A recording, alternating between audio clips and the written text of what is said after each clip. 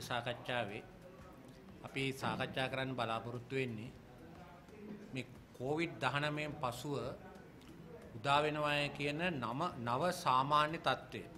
එහෙම නැත්නම් New normal එක. ඒක අපේ රටේ විවිධ ජන කණ්ඩායම් වලට ඒ වගේම අපේ රටේ පුළුල් මහජනතාවට අපේ ආර්ථිකයට කොයි වගේ බලපෑමක් ඇති කරනවද කියන කාරණය. අපි පළමුවෙන්ම ගත්තොත් මේ කෝවිඩ් මර්ධනයේ පෙරමුණේ සිටිය යුතුව තිබුණත් පෙරමුණට ගත්තේ නැති වුණත් අනර්ග මෙහෙවරක් කරපු පිරිස තමයි අපගේ සෞඛ්‍ය සේවක පිරිස. මේ රට ඇත්තටම ආර්ථික අතින් අනික් රටවල් එක්ක සංසන්දනය කරලා බැලුවාම ඒක පුද්ගල ආදායම අතින් මධ්‍යම පන්තියේ රටක් වුණාට මේ රටේ සෞඛ්‍ය සේවය සහ අධ්‍යාපනය කියන ඒ නිදහස් සෞඛ්‍ය සේවය සහ අධ්‍යාපනය කියන පැත්තෙන් අපි ඉතා ඉහළ ගණයේ රටක්. පසුගියදා ඇමරිකාවේ හිටපු ජනාධිපති බැරක් ඔබාමා ඇමරිකාවට මේ කෝවිඩ් වලින් සිදුවෙච්ච ඛේදවාචකය ගැන කියපු ප්‍රධාන කාරණයක් තමයි එක්සත් ජනපදයේ නිදහස් සෞඛ්‍ය සේවයක් නොමැතිවීම නිසා පීඩිත දුප්පත් ජනතාවට සිදුවෙලා තියෙන විනාශය. එක්සත් ජනපදයේ මියගිය අයගෙන් 70ක් සුදු නොවන ජාතිකයන් වීම එතුමාගේ අවධානයට යොමු අපි බොහොම ආඩම්බරෙන් කියන්න ඕනේ අපේ රට ඒ වගේ පසුගාමී තත්වයක නෑ අපි අවුරුදු 70කට කලින් මේ රටේ නිදහස් සෞඛ්‍ය සේවය ඇති කරලා අද වෙනකොට ඊටාම ඉහළ ගණයේ නිදහස් සෞඛ්‍ය සේවයක් ගෙනියන පිරිසක්. ඉතින් මේ අයට රජයේ මාධ්‍යත් විපක්ෂයේ මාධ්‍යත් පොදුවේ හැමදෙනාම කිව්වේ සුවවිරුවෝ කියලා. අද මොකද්ද සුවවිරුවන්ගේ తත්වය? මේ නවසාමාන්‍ය තත්ත්වය එහෙම නැත්නම් නිව් නෝමල් එක යටතේ අද සුවවිරුව පාරට ඇවිල්ලා තියෙනවා. හෙද නිලධාරීන් පිකට් බෝඩ් අල්ලගෙන ඉන්නවා. ඇයි? ඒගොල්ලන්ට ඒ අදාළ දීමනා යනාදිය කලින් ලැබිච්ච දීමනාවත් ලැබෙන්නේ නැහැ කියලා. එහෙමනම් අද සුවවිරුව පාරට ඇවිල්ලා පිකට් බෝඩ් අල්ලගෙන ඉන්න තත්වයට පරිවර්තනය වීම තමයි මේ නිව් නෝමල් එකේ අලුත්ම තත්ත්වය. හරිනම් මේ ඇත්තොන්ට විශේෂ දීමනා දීලා අපි අවධාරණය කරපු කාරණය ඒ අයගේ පෞද්ගලික ආරක්ෂක උපකරණ එහෙම නැත්නම් uh, personal protective equipment ඒවා ලබා දීලා ඒ අයගේ සේවය ඉහළ ගණයට අරගෙන මේ කාර්ය සාධන බලකායවල වල ප්‍රධානීන් බවට පත් කරලා කරන්න ඕනේ කියන එක. ඉතින් ඒක අද ඛේදවාචකයක් බවට සෞඛ්‍ය සේවයේ පත් වෙමින් තියෙනවා. සෑම සෞඛ්‍ය සේවකයෝ අතරෙම නිලධාරි මට්ටමේ ඉඳන් අද මේක වේදනාත්මක අත්දැකීමක් බවට පත් වෙමින් තියෙනවා. ඒ සුවවිරුව. ඊළඟට රටවිරුව. පසුගිය ජනාධිපතිවරණයේදී දවන්ත මාධ්‍ය සංදර්ශනයක් පැවැත්වුවා. විදේශගත වෙලා ඉන්න අපේ ශ්‍රමිකයන් විදේශගත අපේ ජනතාව ලංකාවට ඇවිල්ලා රට බේරා ගැනීම සඳහා ඡන්දය ලබා දෙනවා කියන්නේ. ඒ වගේම අපි අමතක කරන්න හොඳ නැහැ මේ තේපොල් රබර් හෝ ඇඟලුම් අපනයනය නෙවෙයි අපේ රටට කෙලින්ම ඍජු දවන්ත විදේශ මුදලක් ලැබෙන්නේ මේ විදේශගත ශ්‍රමිකයින්ගේ. මේ රටේ තෙල් බිල, ඖෂධ බිල වගේ අත්‍යවශ්‍ය විදේශ විනිමය වැය වෙන බිල් ටික ගෙවන්නේ මේ විදේශගත අයගෙන් අපට ලැබෙන ආදායම නිසා. අද මේ පිරිස සුළුපටු පිරිසක් නෙවෙයි මේ පිරිස ලක්ෂ 30ක් විවිධ ශේෂ්ත්‍රවල ඉන්න ලක්ෂ 30ක් රටේ ජනගහනයේ 15ක්. ඒතර මේ පිරිස අතරින් විශේෂයෙන්ම ඊ타මත්ම දුෂ්කර තත්ත්වයන් වලට පත් වුණා මැද පෙරදිග ජීවත් වෙච්ච අය ඒ වගේම ඉතාලියේ ප්‍රංශයේ ජීවත් වෙච්ච පිරිස් ඊ타මත්ම දුෂ්කර තත්ත්වයන් වලට පත් වුණා. ඒ පිරිස් අද මැද පෙරදිග ඇතුළු ඒ ප්‍රදේශවල ඔවුන් අද කිසියම් ආකාරයකට ඊටාම දුක්ඛිත දෛවයකට ඒ රටවල් වල පත් වෙලා තියෙනවා. මොකද ඒ රටවල් කොරෝනා උදුර මර්ධනය කර ගැනීමේදී මේ විදේශ ශ්‍රමිකයන්ව ඒ අයගේ පැරණි ශ්‍රම කඳවුරු වලට ගාල් කරලා තියෙන తත්වය ඒ ඛේදවාචකය අපට දැනෙන්න පටන් අරන් තියෙනවා. රජයේ මොකද්ද පියවර? උදාහරණයක් ඇටියට සීෂෙල්ස් රාජ්‍යයේ ශ්‍රී ලාංකිකයන් 300කට අධික පිරිසක් හිර වෙලා ඉන්නවයි කියලා වාර්තා වෙලා තියෙනවා. හැබැයි සීෂෙල්ස් රාජ්‍යයෙන් ගෙන්නනවා සීෂෙල්ස් රාජ්‍ය වැසියන් කොරෝනා රෝගීන් ලංකාවට ආනයනය කරනවා. මම මේ රටේ ගවේෂණාත්මක මාධ්‍යවේදීන්ට කියනවා සීෂෙල්ස් රාජ්‍යයෙන් ගෙනාපු කොරෝනා රෝගීන් දැන් රඳවලා තියෙන්නේ කොහෙද කියලා හොයලා වාර්තා කරන්න. අන්න එතකොට තේරෙයි මේ සීෂෙල්ස් රාජ්‍යයෙන් ආනයනය කරපු මේ මෙඩිකල් ටුවරිසම් කියලා වචනයක් දාලා ගෙනාපු මේ ලෙඩ්ඩු තොගය සම්බන්ධයෙන් මේක ඇතුළෙත් මේ නිව් නෝමල් එක ASCII ගිනි කන්න හදන පොහොට්ටුවේ ව්‍යාපාරික ඒ වගේම මාධ්‍ය අධිකාරියේ පුජ්‍යලින් එකේ හෙලිදරව්වේ. නිසා මම ගවේෂණාත්මක මාධ්‍යවේදීන්ට කියනවා ඒක හොයලා බලලා වාර්තා කරන්න කියලා. ඒ වගේම අපි කියනවා බොහොම පැහැදිලිව යම් හේකින් මේ සීෂෙල්ස් රාජ්‍යයෙන් ගෙනාපු අයගෙන් මේ රටේ කිසියම් කෙනෙකුට හෝ කොරෝනා රෝගය වැළඳුනොත් සියලුම බලධාරීන්ට ඒ අපගේ පනතට අනුව ඒ සෞඛ්‍ය ආරක්ෂණ පනතට අනුව නීතිය ක්‍රියාත්මක කළ යුතුයි. ඒ වගේම මාධ්‍ය වල ඉදිරියට ඇවිල්ලා මේක තමයි මෙඩිකල් ටුවරිසම් කියලා මේ කොරෝනා වෛරසය සහිත පිරිස ලංකාවට ගෙන එක මෙඩිකල් ටුවරිසම් සාධාරණීකරණය කරන්න ඉදිරිපත් වෙලා ඉන්න සෑම කෙනා සම්බන්ධයෙන්ම නීතිය ක්‍රියාත්මක කළ යුතුයි.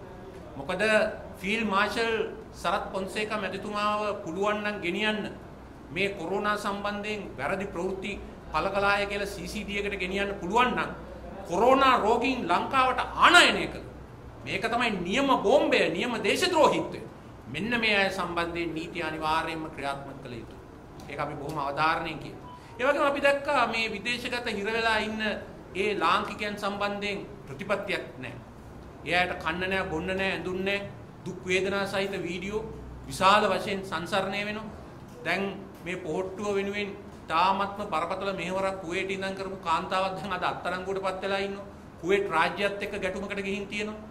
අපේ දේශපාලන ඇමතිවරුන්ගේ එක එක කටකැඩිච්ච කතා විසින් අද ඒ සියලු ක්ෂේත්‍රවල අපේ ජනතාව අතිශය වේදනාත්මක තත්ත්වයට පත් වෙලා තියෙනවා. මේ බාල දේශපාලනයක් කරන්න ගිහිල්ලා රාජ්‍යතාන්ත්‍රික භාවයයි අපේ ජනතාවගේ ඉරණමයි අපේ ජනතාව බඩගින්න නිසා විදේශගත වෙලා ඉන්නේ. ඒ ජනතාවගේ ඒ වේදනාව තවත් වැඩි දියුණු වෙන විදිහට ඒ රාජ්‍යයන්ගේ තවත් ඒ අයට බලපෑම් කරන්න පුළුවන් විදිහට ඒ අය සිරගත කරන්න පුළුවන් විදිහට ක්‍රියා කිරීම ගැන පිතාම කනගාටුන. මේ ලංකාවේ දාන මාධ්‍ය සංදර්ශන දාන කූට නාටක විදේශ රටවල කරන්න බෑ අපි හැකීක්මනින් කළ යුතු වන්නේ අපේ රටට මහමෙහෙවරක් කරපු ඒ පිරිස් ප්‍රතිපත්තියක් ඇතුව ගේන එක.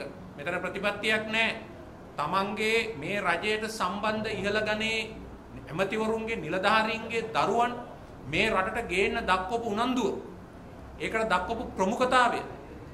මේ රට වෙනුවෙන් මේ මෙහෙවර කරපු මේ දුක් විඳින ජනතාවට නොමැති වීම ගැන අපි කනගාටු වෙනවා. අපි ඒ වෙනුවෙන් ඉදිරියේදීත් පෙනී ඉන්නවා. මොකද මේක මිනිස් ඛේදවාචකයක් වෙන්න නියමිතයි.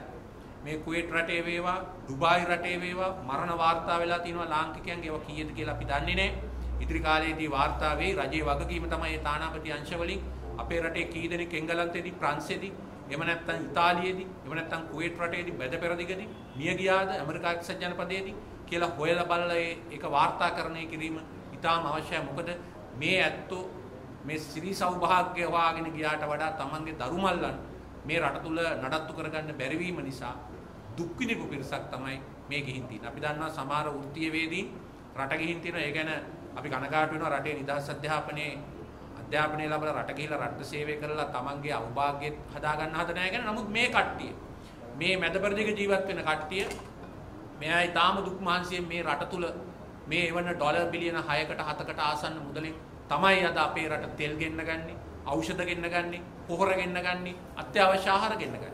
මේ මේ පිරිසට අපි කෙලින්ම පිළිසරණ වෙන්න ඕනේ. ඉන්දියාවට පුළුවන්කම තිබුණා තමන්ගේ නාවුක හමුදාවේ බලගතුම නෞකා ටික යවලා ගුවන් යානා ටික යවලා මේ තමන්ගේ මිනිස්සු තමන්ගේ රට නැවත ගෙන්න ගන්න අපට වඩා ආර්ථික අතින් යම් යම් දුෂ්කරතා තිබුණත් ඉන්දියාව කටයුතු කළා. වෙනත් රටවල් කටයුතු කළා. නමුත් අපි ඒ ගැන කටයුතු කරලා නැති බව කියන්නේ. දා මේ රටවිරුවෝ ඡන්දෙට විතරක් රට වෙනුවෙන් දේශමාමකත්වයට පාවිච්චි කළා. අද අන්ත අසරණ කළා ඒ ශ්‍රම කඳවුරු වල හිරකාරයෝ බවට පත් වෙලා අද මිය යන තත්ත්වයට පරිවර්තනය වෙමින් මේක තමයි නිව් නෝමල් එක. රටවිරුවන්ට ගිනි කන්න, සුවවිරුවන්ට ගිනි කන්න තියෙන නිව් නෝමල් එක මේක. ඊළඟට රණවිරුවෝ අපි දන්නවා මේ මේ ලොකුවට කතා කරනවා අපි කොවිඩ් පාලනය කළාය අපි කෝවිඩ් මර්ධනය කළ අය මම පළමුවෙන්ම කියන්න ඕනේ මේ රටේ පෙබරවාරි 24 වෙනිදා ලෝක සෞඛ්‍ය සංවිධානයේ ප්‍රධානියා ප්‍රකාශයක් නිකුත් කරපු අවස්ථාවේ මේක දැන් ලෝක මට්ටමින් ව්‍යාප්ත වෙනවා පරිස්සම් වෙන්න කියලා මේ රට ඇතුලේ මර්ධනය කරන්න හෝ හොයා බලන්න හෝ එකම කොවිඩ් රෝගියෙක්වත් හිටියේ නැහැ. මර්ධනය කරන්න රෝගයක් තියෙන්න එපා. එකම කොවිඩ් රෝගියෙක්වත් හිටියේ නැහැ. ඒක මතක තියාගන්න. කොවිඩ් රෝගීන් ආනයනය කළා. ඇයි? මේ රජය ගිහිල්ලා සංචාරකයන් මේ රටට ගෙනාවා. ඒ සංචාරකයන්ගෙන් තමයි පළවෙනි කොවිඩ් රෝගියා මාර්තු 11 වෙනිදා වාර්තා වෙන්නේ සංචාරක මඟ පෙන්වන්නේ. ඒ නිසා මේ මර්ධනය කරන්න මේ රටේ කොවිඩ් රෝගයක් තිබුණේ නැහැ.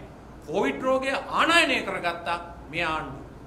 දැන් මේ ආණ්ඩුව එහෙම සමත්කමක් පෙන්වලා තියෙනවා නම් ඒක අපිට හොඳට පේන්න ඕනේ වැලිසර හමුදා කඳවුරේ සිදුවෙච්ච ඛේදවාචකේ. දැන් බලන්න මේ රටේ අපි පිළිගන්න ඕනේ අපේ සාමාන්‍ය එදිනෙදා සමාජයට වඩා ඔය කෙහෙල්වත් පොකුර මර්ධනය කරනවා අටුලුගම පොකුර මර්ධනය කරනවා කිය කිය කිව්වට ඊට වඩා විනයගරුක පිරිසක් තමයි අපේ ආරක්ෂක අංශවල ඉන්න පිරිස. මේ අපේ සාමාන්‍ය සමාජයට වඩා විනයක් තියෙන විනයගරුක පිරිසක් තමයි ඒ පිරිස. එතකොට ඒ විනයගරුක හමුදා කඳවුර ඇතුලේ කොවිඩ් මර්ධනය කරගන්න බැරි අය දැවැන්ත කොවිඩ් පොකුරක් හදාගෙන තියෙන අය කොවිඩ් රෝගයෙන් අඩකට වැඩි ප්‍රමාණයක් හමුදා කඳවුරු වලින් බිහි කරගත්ත අය කොවිඩ් මර්ධනය කළා අපි රටේ කියලා නාටක නැටීම තරම් විහිළුවක් තවත් නැහැ. මේකෙන් මොකද කරලා තියෙන්නේ? මේ අපේ රණවිරුව කියන පිරිස බිහි කරලා තියෙන්නේ රටේ ජාතික ආරක්ෂාව. නාවිකයෝ බිහි කරලා තියෙන්නේ මුහුදු ආරක්ෂාව වෙන්නේ. ඒ වගේම ගුවන් හමුදාව බිහි කරලා තියෙන්නේ ගුවන් ආරක්ෂාව වෙන්නේ. මේ ඇයට රටක ඇතිවෙන ජාතික ආපදාවකදී කළ හැකි මෙහෙයක් තියෙනවා. ඒ මෙහෙය තමයි ගොඩනැගිලි ඉදි කරන්න, ඒ වගේම යම් යම් පහසුකම් සපයන්න තමයි ඒගොල්ලෝ. ඒගොල්ලන්ට බෑ මේ වෛද්‍ය කාර්ය මණ්ඩලවල වැඩ කරන්න. ලෝකේ කිසිම රටක මේ වගේ රෝගී ප්‍රතිශතයක් නැහැ ආරක්ෂක අංශ. මොකද මේ කාර්ය සාධන බලකායේ ප්‍රධානිය හැටියට පත් කළේ හමුදා නිලධාරියෙක්. මේක ප්‍රධානිය වෙන්න ඕනි සෞඛ්‍ය සේවා අධ්‍යක්ෂක ජෙනරාල්වරු. එතකොට මේ හමුදාවකට රෝග මර්ධනයට උදලා මොකද කරලා තියෙන්නේ? මේ රණවිරුවන් අද ඛේද වාචකයකට පත් කළා තියෙනවා. ඊ타ත්ම සමාජයේ අද අපහාසාත්මක තත්වයකට මේ රණවිරුව පත් කළා තියෙනවා. අහිංසක රණවිරුවන්ගේ සමහර නිවාසවලදී මිනිස්සු ඒ පවුල් වලට හිරිහැර කරන තත්ත්වයට පත් කළා තියෙනවා. අයි මතක තියාගන්න ඕනේ. මේ රටේ යුද්ධයක් තිබුණා. ඔය හුඟක් දෙනෙක් අද ඉන්න වීරයෝ දොදන්නවට අපි දන්නවා. ඒ යුද්ධෙදී කඳවුරු පිටින් අතු ගෑවිලා ගියා. අපේ සමහර අවස්ථාවල. පුනරින් වැටුණා. අලි කිලිනොච්චි වැටුණා. මුලතිව් වැටුණා. අලි මංකඩ වැටුණා. හැබැයි අපේ රටේ ආරක්ෂක හමුදා පිළිබඳව තිබිච්ච විශ්වාසය අපේ ජනතාවගෙන් ඈත්ුනේ නැහැ. බිඳ වැටුනේ නැහැ. ඇතම් අවස්ථාවල අපේ ආරක්ෂක හමුදාවලට චෝදනා එල්ල වුණා. අර දකුණේ මම කියන්නේ 87 89 කාලේ මේ ටයර් සෑවල් ආදී සම්බන්ධයෙන් චෝදනා එල්ල වුණා. ඊට පස්සේ පළවෙනි වතාවට මේ රටේ ආරක්ෂක හමුදාවලට මිනිමරු චෝදනාව ආවේ රතුපස්වලදී. ඇයි? ආරක්ෂක හමුදා රට රකින්න මෙහෙවරට නෙමෙයි විරෝධතාකරුවෝ මර්ධනය කරන තැනට. පොලිසිය ගිහිල්ලා ඒ විරෝධතාවය කිසියම් දුරකට පාලනය කරලා ඒ ඒ ෆැක්ටරිය ආයෝජන මණ්ඩලයේ බියගම කලාපයට ගෙනියන්න කටයුතු කරලා තියෙන අවස්ථාවේදී යුද හමුදාවේ දෙව්වා ඒකට. යදවල අපේ ජනතාවට මේ කැරලි මර්ධනයට යන්න බෑ යුද්ධ කරන්න පුරුදු වෙලා තියෙන හමුදාවක්. ඒක කලේ මේ වර්තමාන ජනාධිපතිතුමා ආරක්ෂක ලේකම් හැටියට ඉන්නකොට මේ වර්තමාන අගමැතිතුමා රටේ ජනාධිපති හා රාජ්‍ය ආරක්ෂක ඇමති හැටියට ඉන්නකොට අන්න පළවෙනි වතාවට 87 89 පස්සේ දකුණේ සමාජයේ අර රට බේරගත්ත රණවිරුවට මිනිමරු කියන ඒ ලේබලය ඇට වෙන තැනටපත් වුණා. ඒ කලේ කවුද? ඒ රණවිරුවද? ඒ එදා මෙහෙයුමට ගිය හමුදා නේදාරි. අද ඒගොල්ලෝ තමයි ඒකට වන්දි ගන්නලා තියෙන්නේ. ඒගොල්ලන්ගේ මෙහෙයවපු මේ මෝඩ පාලකයෝ තමයි ඒ රණවිරුවන් මේ විදිහට අවඥාවට පාච්චල් කිරීමටපත් කළේ. අද ඒ රණවිරුවන්වම අද පාච්චල් වෙලා තියෙන මේ හාල් මාෆියාවට. මාධ්‍ය වලින් අහසට නැග්ගුවා. සහල් මාපියාවට හමුදා ප්‍රහාරයක්. හාල් තුක ඔක්කොම දැන් හඳුනගෙන තියෙන්නේ. හාල් අපි පාලනය කරනවා. කඩවල වැඩිමිලට විකුණුවොත් කනට ගහනවා. කියලා මේ සමාජයේ මේ ඉහළම ඉහළම තත්වයකට ගෙනිච්ච මේ සමාජයේ ගලවා ගන්න ඉන්න පිරිසක් හැටියට. අද ඒවට සම්බන්ධ වෙච්ච සියලුම හමුදා නිලධාරීන් අපිට කනගාටුයි කියන්නේ මේ සමාජ මාධ්‍ය ජාලවල අවඥාවට ලක් වෙනවා. ඊටාම පහත් තත්වයට අවඥාවට ලක් වෙනවා. නිසා අපි ඉල්ලා හිටිනවා කරුණා කරලා අපේ ආරක්ෂක හමුදා රාජ්‍ය ආරක්ෂක සේවාවේ යොදවන්න. තුවක්කු වලින් ගොවිතැන් කරන්න බෑ. ගොවිතැන් කරන්න ගොවියෝ ඉන්නවා. වී මිල දී ගන්න පුජ්‍යලික ව්‍යාපාරිකව වියාලවි මණ්ඩලයේ ඉන්නවා. ඉතින් මේ මේ රණවිරුව දන්නේ මේවා ඇතුලේ තියෙන ඩීල් මොනවද කියලා. ඒගොල්ලෝ ඒගොල්ලන්ගේ නිල ඇඳුම උගස් කරලා ගිහිල්ලා මේවට මැදිහත් වෙන්නේ. ඉතින් ඒවා තුලින් රටේ ඇති කරන මතයක් මේ බලගතු මතයක් මේ රණවිරුව මැදිහත් වෙලා මේ හාල් මාෆියාව කඩලා ලාභයට හාල් දෙනවයි කියලා. අන්තිමට ලාභයට හාලුත් නැහැ. රණවිරුවන්ගේ ගෞරවයක් නැහැ. රණවිරුව පාච්චල් වෙනවා. අපගේ හමුදා නිලධාරීන් පාච්චල් වෙනවා සමාජ මාධ්‍ය දාලා වහ ජනතාව අතර. ඒ නිසා කරුණාකරලා අපි ඉල්ලා හිටිනවා මේ අපේ ආරක්ෂක හමුදාවල ආරක්ෂක සේවා වලට යොදවන්න අත්‍යවශ්‍ය අනතුරුදායක කළමනාකරණය ආපදා කළමනාකරණය තැන් වලට යොදවන්න Taman නොදන්නා විශේෂ ශේෂ්ත්‍ර වලට යොමු කරවලා ඒ නිලධාරීන් අවඥාවට පත් කරන අපහසුතාවයට පත් කරන තත්වයන් නැති කරන්න එපා කියලා. බොහොම පැහැදිලිව කියනවා අපේ පාලනය යටතේ අපි රණවිරුවන්ව ඇලවල් සුද්ධ කරන්න, තනකොළ කපන්න, කැලි කසලා දින්න, ඒවැනි කාරණාවල යොදවපු අයව අපි එකෙන් මුදාගත්තා. නිදහස් කළා. ඒ නිල ඇඳුමට අවශ්‍ය ගෞරවය ලබා දෙන්න කටයුතු කළා. ඉදිරියේදීත් අපි ඒ කටයුත්ත කරනවා. එතකොට මොකද අද වෙලා තියෙන්නේ? රණවිරුවනු අවඥාවටපත් වෙලා ගර්හාවට ලක් වෙලා තියෙනවා. ඊළඟට අද මුළු රටේම ජනතාවගේ ආදායම් කඩා වැටලා තියෙනවා. ජනතාවගේ රැකියා අවස්ථා අහිමි වෙලා තියෙනවා. විශේෂයෙන්ම නොයෙක් කතා රූපවාහිනී වල ප්‍රකාශ කළාට ජනාධිපති කාර්යාලයේදී අගමැති කාර්යාලයේදී පුරුදු දුන්නට අද පෞද්ගලික අංශය විශාල වශයෙන් තමන්ගේ සේවකින් වැඩට එන්න එපා කියලා සේවයෙන් ඉවත් කරමින් යනවා. ඒක අමතක කරන්න හොඳ නැහැ. මේ රටේ නිල ශ්‍රම බලකාය ලක්ෂ 80ක්. ඒ ලක්ෂ 80න් ලක්ෂ 15යි රාජ්‍ය සේවයෙන්. ඊටු අය සියලු දෙනාම ඉන්නේ පෞද්ගලික අංශේ. තව සුළු හා මධ්‍ය පරිමාණ හා ස්වයං රැකියා කරන තවත් අතිවිශාල පිරිසක් ඉන්නවා මේවට ගණන් වලට වැටෙන්නේ නැති. අද මේ සියලු දෙනාම හිඟමනට වැටලා තියෙනවා. හිඟමනට වැටලා තියෙන්නේ මේ ජනතාව පමණක් නෙමෙයි. වැඩ කරන ජනතාව පමණක් නෙමෙයි. හිඟමනට වැටලා තියෙනවා ව්‍යාපාරික ප්‍රජාව. තමන්ගේ මිනිස්සුන්ට පඩි ගෙවා ගන්න බැරුව, තමන්ගේ කර්මාන්ත ශාලා ආරම්භ කරගන්න බැරුව අද හිඟමනට වැටලා තියෙනවා. මේකට හේතුව අර රෝග මර්ධනයේට කියලා ඇඳිරි නීතියක් දාගෙන මාස දෙකක් තිස්සේ රට වහගෙන කරපු අවිද්‍යානුකූල ක්‍රියාවලිය. මොකද රටේ වහන්න තිබුණේ ගුවන් තොටුපළ. රට ඇතුලේ මර්ධනය කරන්න රෝගියෙක් හිටියේ නැහැ.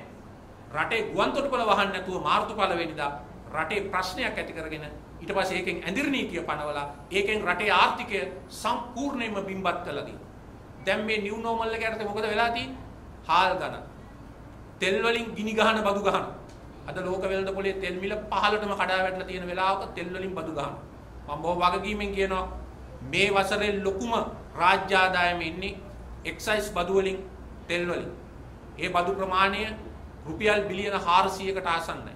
හෙන්න ගහන බදු. මම එදා මේ රටේ බලශක්තිය ඇමති හැටියට ඉතිහාසයේ පළවෙනි වතාවට 2015 බල අපිට ඇමතිකම ලැබුණේ ජනවාරි 15 ජනවාරි 27 මේ රටේ පෙට්‍රල් ඩීසල් භූමි තෙල් අඩු කළා. අඩු කළ ජනතාවට සහනය දුන්නා. බිලියන් 65ක සහනයක් දුන්නා. එම සහනය දුන්නයි කියලා කාන්තේ නීතික සංස්ථාව පාඩු කළේ නෑ අපි. පාඩු නොකර දිව්වා. විදුලි බල බිල සතයකින්වත් අපි වැඩි කළේ නෑ. ජල බිල සතයකින්වත් වැඩි කළේ නෑ අපේ පාලන සමයට. නමුත් අද මොකද වෙලා තියෙන්නේ? මේ සහගහන තෙල් බදු වලින් දුවන. ඊළඟට බදු තෙල් වලට විතරක් නෙවෙයි දැන් තියෙන්නේ මොනවටද? අල, ලූණු, සැමන්, පරිප්පු. ආවේ කොහමද? සැමන්, පරිප්පු දෙක ලාභයට දෙනවා කියලා ආවේ. රුපියල් 65ට රුපියල් 100ට. කිව්වා තෙල් වල බදු සාහනය සැමන් වලටයි පරිප්පු වලටයි දෙනවා කියලා. මම කියනවා තෙල් වලින් ලබා ගන්නා බදු වලින් 100ට එකක්වත් වැය වෙන්නේ නැහැ. ඔය කියන සාහනය දුන්නා නම් සැමන් වලටයි පරිප්පු වලටයි. සැමන් වලටයි පරිප්පු වලටයි ඔය සාහනය දෙන්න වැය වෙන මුදල තෙල් බදු වලින් එන ගාණෙන් 100ට එකයි. හැබැයි ඒ 100ට එකවත් අපේ ජනතාවට දුන්නේ නැහැ. අද සැමන් සාඩින් මිලත් පරිප්පු මිලත් ඒ තත්වයටම ඉහළට ඔසවලා තියෙනවා. දැන් මොකද්ද මේ කරන්නේ? මේ නිව් නෝමල් එක ගිනි කන නෝමල් එක. ඒ ඇස්සේ අපේ බලපෑමට රුපියල් 5000ක් දෙන්න තීරණය කරා.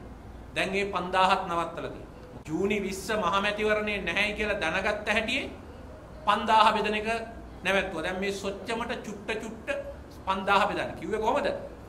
අප්‍රේල් 11 එක 5000ක් දෙනවයි කිව්වා. ඊළඟට කිව්වා මැයි 18 තව 5000ක් දෙනවයි කියලා.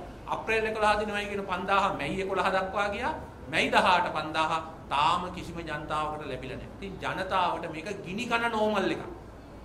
ගිනි කන නෝමල් එකක් බවට පරිවර්තනය වෙලා තියෙනවා. ඉතින් මේ වැඩ කරන ජනතාව ඒ වගේම තමන්ගේ සේවකීන්ට වැටුප් ගෙවා ගන්න බැරුව තමන්ගේ ණය ගෙවා ගන්න බැරුව දුක් විඳින අය.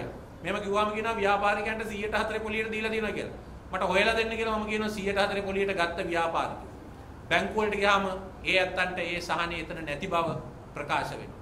ඉතින් ඒ නිසා මේ සහල් මාපියාව බින්දාය කියන පට්ටපල් බොරු නාටකය අර ජනාධිපති වරණයේ පෙන්නපු රණවිරු නාටකය ඒ වගේම කැලණියේ නාගලෝකෙන් ආපු නයි නාටකය ඇමරිකාවේ MCC නාටකය වගේම නාටක ටිකකින් නම් ඉදිරියට යන්න බෑ මොකද ජනතාව රැවට්ටුවට කොවිඩ් රවට්ටන්න බෑ කොවිඩ් රවට්ටන්න බෑ ජනතාව රැවට්ටුවට කියන එක අපි බොහොම පැහැදිලිව ප්‍රකාශ කරනවා. ඒ වගේම මේක ඇතුලේ මේ 5000 ඇතුලේ දේශපාලනය කරනවා. ඒ වගේම මේ ජනතාවට ආහාර බෙදීමේ ක්‍රියාවලිය ඇතුලේ දේශපාලනය කරනවා. ඒ වගේම මම ගවේෂණාත්මක මාධ්‍යවේදීන්ගෙන් ඉල්ලා හිටිනවා මේ රටට අද ගෙන්නන සැනිටයිසර්ස්. ඒවා ගෙන්නන ප්‍රධාන අය කවුද කියලා හොයලා බලන්න කියලා ඉදිරි කාලේ. මොකද ඒ අය ඒ අයගේ නම්ගම් ටික ඉදිරියට එළියට එයි. එතකොට තේරෙයි මේ නෝමල් එක ඇතුලේ මේ කොවිඩ් එක ඇතුලේ කොහොමද මේ ව්‍යාපාරික පන්තිය ගසා කෑමේ නිල්ලා ඉන්නේ කියන එක. ඒ නිසා මේ ගිනි කන නිව් නෝමල් එකට විරුද්ධව මේ රටේ ජනතාව වැඩ කරන ජනතාව ව්‍යාපාරිකයෝ විදේශගත අපගේ රටවිරුවෝ ඒ වගේම සුව සේවාවින් අපේ සුවවිරුවෝ අවඥාවට ගර්හාවට ලක් වෙමින් තියෙන අපගේ රණවිරුවෝ මේ සියලුම දෙනා එකට පෙළ ගැසිය යුතුයි කියන ආරාධනය අපි කරනවා. මොකද විශේෂයෙන්ම රණවිරුවන්ට හා පොලිසියට වැඩ වර්ජන කරන්න බෑ. දේශපාලන අයිතීන් නැහැ ඒගොල්ලන්ගේ ගෞරවය වෙනුවෙන් අපි ඉදිරියේදී ක්‍රියා කරන බව බොහොම පැහැදිලිව ප්‍රකාශ කරන්න කැමතියි.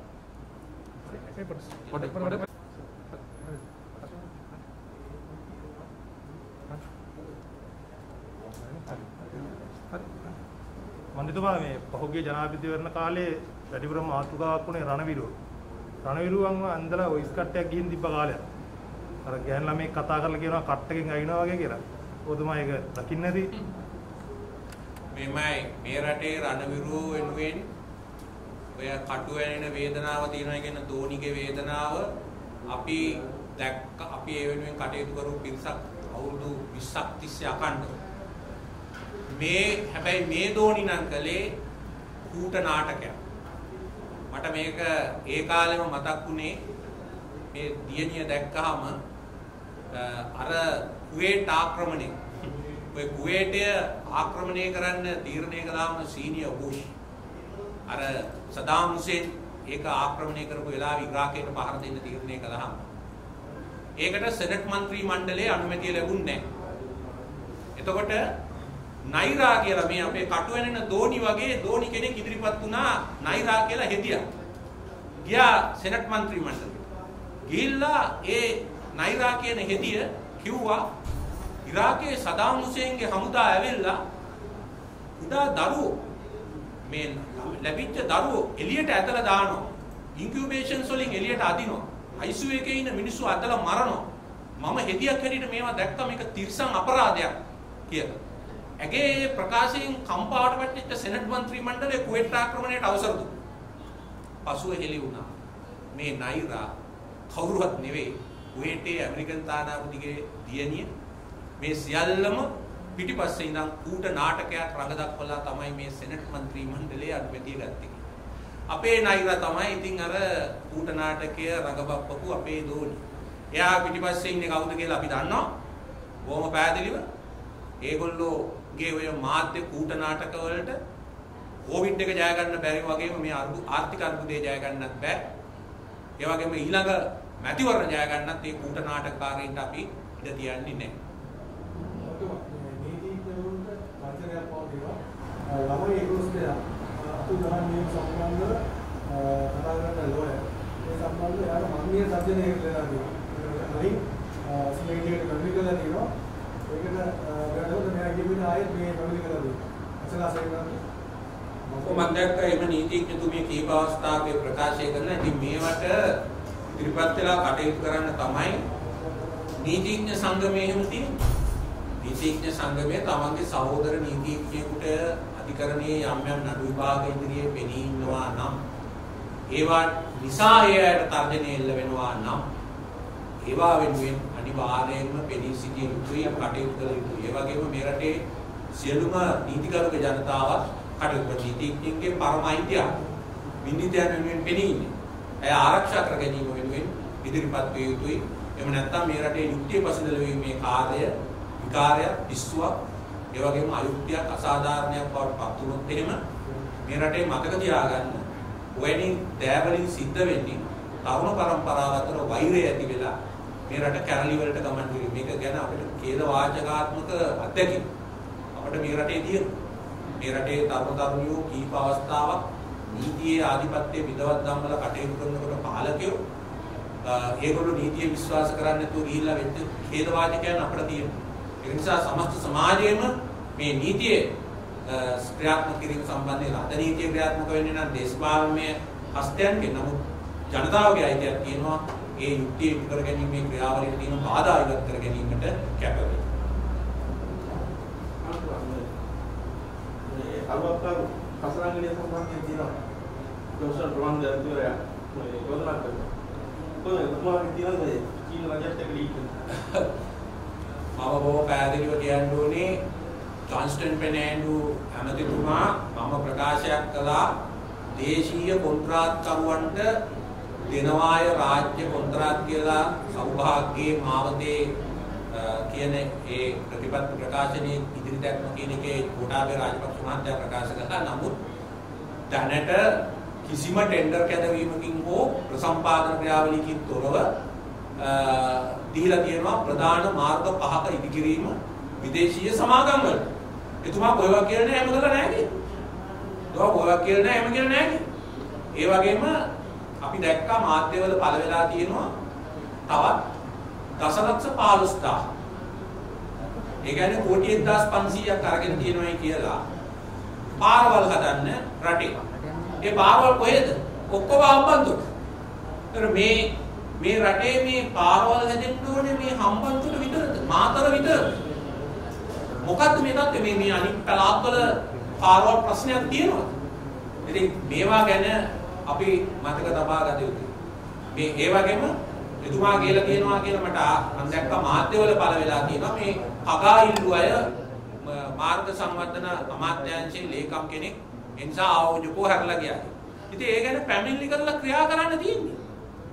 මාධ්‍ය සාකච්ඡා පවත්වන්න නෙමෙයි. දැන් මෙතුමන්ලා බොහොම පැහැදිලිව ජනාධිපති වර්ණයට සියල්ලට පෙර 2015 ඉඳන් කියපු දෙයක් තමයි මහා බැංකු හොරු අල්ලනවා කියන්නේ.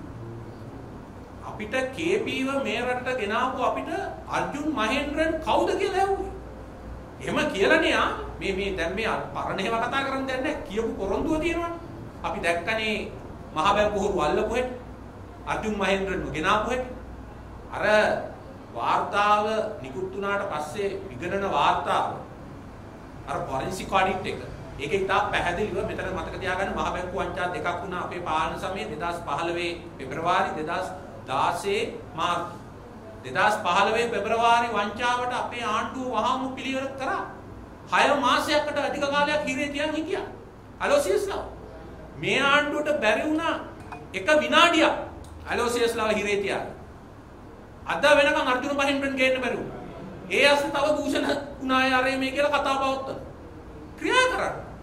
අපිත් කැමති හොරු ඒ විදිහට එලිදරව් වෙලා එනවට. ඒ විදිහට රට සුද්ධ වෙනවට. දේශපාලන පක්ෂ සුද්ධ වෙනවට. අරුවක්කාරු ගැන කියනවා නම් අවුරුද්ද ගන්නා ඔලෝ මීතර මුල්ලේ කුණු ගන්ධ කඩා වැටුණා. මුගක් දෙනෙක් කොතෙන්ට ගිහිල්ලා පොරොන්දු දුන්නා නමුත් කිසි කෙනෙක් ඒක විසඳන්න ඉදිරිපත් වුණේ නැහැ. ඒ නිසා තමයි අපේ අමාත්‍යාංශය අපි ඉදිරිපත් වෙලා ඒ ප්‍රශ්න විසඳන්න කටයුතු කළේ. අද මීතොට මුල්ලේ උද්ඝෝෂණයක් නැහැ. වටේ හිටපු පවුල් 350කට අපි ගෙවල් දුන්නා. ඒ විතරක් නෙමෙයි අක්කර 35ක් එතන මුදාගෙන එක නාගරික උද්‍යානයක් කරන්න කටයුතු කළා. ඒ වැඩ කටයුතු ඔක්කොම අද නවත්තලා තියෙනවා. ඒ මොනවා කරන්නද කියලා අපි දන්නේ අපි බොහොම පැහැදිලි වෙලෙස බලාගෙන ඉන්නවා. අරුවක්කාරුවේ කසලංගනය හදන්න අපි ජාත්‍යන්තර ටෙන්ඩර් කැඳවීමක් කළා. ඒකට 6 දෙනෙක් ආවා. ඒකෙන් දෙන්නෙක් ඒකට මේ ක්වොලිෆයි වුණා. ඒ දෙන්නගෙන් එවැනි ප්‍රසම්පාදන ක්‍රියාවලියකින් තමයි මේ කණ්ඩායම තෝරගෙන දීලා තියෙන්නේ. ඒ වගේ මේ කණ්ඩායම යම් යම් අවස්ථාවල වැරදි කළාම ඒවට දඩපණවන්න කටයුතු කළා. කෙසේ හෝ 180කින් ඒ කටයුතු නිම කරලා කසල එතෙන්ට ගෙනියන්න පුළුවන් තත්ත්වය අපි ඇති කළා. ඒ වගේම දුම්රිය මගින් කසල ගෙනියන්නේ චීන සමාගමෙන් නෙමෙයි. දුම්රිය මගෙන් කසල ගෙනියන්නේ කොළඹ මහනගර සභාවයි ඒ වගේම බස්නාහිර කසල අධිකාරිය. ඒ වගේම ඉඩම් සංවර්ධන සංස්ථාව කියන රජයේ ආයතන එක්ක අහුවෙච්ච සමාගමකින් තමයි කුණු ගෙනියන්නේ. නැතුව මේ චීන සමාගම නෙමෙයි. චීන සමාගම කරන්නේ ඉදිරියෙන් කටයුතු විතරයි. මම බොහොම කනගාටුවෙන් ප්‍රකාශ කරනවා අද ඒ කසල ගැනීමේ ක්‍රියාවලිය නතර කළා. අද මුතු රාජ වෙලා වටිනා පරිසර පද්ධතිය විනාශ කරගෙන තවත් මීතොට මුල්ලක් මේ රජය හදාගෙන යනවා. මුතු රාජ වෙලා විනාශ කරගෙන කරගෙන ගවේෂණාත්මක මාධ්‍යවේදීන්ට අපි කියනවා ගිහිල්ලා ඒක වාර්තා කරන්න. විද්‍යාත්මක කසලංගනයක් හදලා තියෙද්දි දේශපාලන ඊර්ෂ්‍යාව මත මේකෙන් චම්පි කරනකොට ක්‍රෙඩිට් එකයි කියලා බය මුතු රාජ වෙලා විනාශ කරනවා කියන හෙන ගහන අපරාධයක්. මුතුරාජ වෙලා අපි කසලංගනයක් හැදුවා. විධිමත්ව මාධ්‍ය වලට අපි පෙන්නුවා. කොම්පෝස් හැදුවා ඒවා විකුණුවා මුදල් කළා. අපි ඒක උතුරා යන තත්ත්වය ආමට ඒක වහලා දාලා ඒක ප්‍රතිශෝධනය කරන්න කටයුතු කළා. දැන් අද එතන නැවත කසල කන්දක් ගොඩනගාගෙන යනවා. මුළු මුතුරාජ වෙල ප්‍රදේශෙම විනාශ කරනවා. අතන විද්‍යාත්මක කසලංගනයක් තියෙද්දි අතන විද්‍යාත්මකව ගොඩනගපු රජයේ මුදල් වියදම් කළ කරපු. ඒ නිසා ටෙන්ඩර් ප්‍රසම්පාදන ක්‍රියාවලිය වලින් තොරව අපේ අමාත්‍යාංශයේ කිසිම ක්‍රියාදාමයක් වෙලා නැහැ. ඒ වගේම එම කොන්ත්‍රාත්කරුවෝ වැරදි කරද්දී ඒවට දඩ මුදල් පැනවීමත් අපි කරලා තියෙනවා. අපිට කිසිම ඩීල් එකක් නැහැ. ප්‍රසම්පාදනී ක්‍රියා කරලා තියෙන්නේ. රටේ ආර්ථිකයේ අත්‍යවශ්‍ය දෙයක් හැටියටයි මේ කටයුත්ත අපි කළේ අපේ ආණ්ඩුව කළේ. එසේ නොවුනා නම් මීතොට මුල්ල වගේ තව කුණු කඳු ඇති වෙන එක විතරයි වෙන්නේ. කරුණා කරලා ඒක පාවිච්චි කරලා ඒක ඉක්මන් කරලා ඒක නිමා කරලා මේ ප්‍රදේශවල කුණු කඳු ගොඩ ගැනීම නවත්තන්න මේ දේශපාලන මේ වශයෙන් මේක ක්‍රියා කරන්න එපා කියන ඉල්ලීමත් අපි මේ අවස්ථාවේ කියනවා. ඒත් එක මන්ත්‍රී ඊයේ දිනේදී එක්සත් ජාතික පක්ෂයේ ආසුමාර්සිංහ මන්ත්‍රීතුමා සඳහන් කරනවා මේ දේශපාලන අයිකන් ගැන. ඉදිරි මැතිවරණය දිනන්නට පුළුවන් මහින්ද රාජපක්ෂ වැනි අයිකන් එක්කට ඒත් එක්ක රනිල් වික්‍රමසිංහ මහතා වෙන අයිකන් එක්කට කියලා. මෙහිදී බැහැර කරනවා නේද සජීව ප්‍රේමදාස මහතා මොකද්ද මේ තර්කය? මේ මට hina ගියා කියලා මේ මේ රටේ මේ දේශපාලන උජ්ජලාභිවාදී අයිකන් හැදිල්ල ඒ පොහොට්ටු පක්ෂෙන් කළා ඒවා ඒ ඒ පොහොට්ටුව හදපු වේගෙන්ම පරවෙමින් තියෙනවා. විවිධ කූට නාටක මාධ්‍ය මගින් හදන ඕවගේ අයිකන් ඒවට පැවැත්මක් නැති බව පෙනී තියෙනවා. දැන් මහින්ද රාජපක්ෂ මහත්තයාගේ ජනප්‍රියතාවය ඒ ගෝඨාභය රාජපක්ෂ මහත්තයා ඒ කාලේ පෙන්නපු ඒ අයිකන් එකේ ජනප්‍රියභාවය රාජපක්ෂවරුන්ගේ තත්වය ඉදිරි කාලයේදී හෙළිදරව් වෙයි. සජිත් ප්‍රේමදාස මාධ්‍ය විසින් පුම්බන මාධ්‍ය විසින් ගොඩනගන චරිතයක් නෙවෙයි. ඒ වගේම සමගි ජන බලවේගය පුජ්‍යලාභිවාදනය පදනම් කරගත්ත ව්‍යාපාරිකුත් නෙවෙයි. මේ රටේ පෞල්වාදයට මේ රටේ ගජමිතුරු වාදයට රැහැණිව මේ රටේ ප්‍රභු කල්ලියක් විසින් මං කියන්නේ වංශක්කාර මංකොල්ලකාරව රැලක් විසින් ගෙනියන මේ රට මේ රටේ ප්‍රබුද්ධ මහජනයාගේ අතට පත් කරන ව්‍යාපාරය. මහ පොළොවෙන් උපන් මහ පොළොවේ ජනතාවට සේවය කරන මේ රටේ මධ්‍ය විද්‍යාල සහ අනිකුත් විද්‍යාල වලින් බිහි වෙච්ච අපේ දරුවන්ට නෙල්ලාඩි මධ්‍ය විද්‍යාලේ ඉඳන් දික්වැල්ල විජිත විද්‍යාලය දක්වා මේ රට බිහි කරපු දරුවන්ට රට උරුම කරලා දෙන ව්‍යාපාරයක් මිසක් මාධ්‍ය හරහා ගහන වංශක්කාර මංකොල්ලකාරයින්ගේ පෞල්වාදීන්ගේ පෞල්කාමීන්ගේ ගජමිතුරුවාදීන්ගේ ව්‍යාපාරයක් නෙවෙයි ඒ නිසා අයිකොන් අපට බලපාන්නේ නැහැ. හරි. ආ ස්තුතියි. මේ වගේ වීඩියෝ දිනපතා නරඹන්න අපේ channel එක subscribe කරන්න.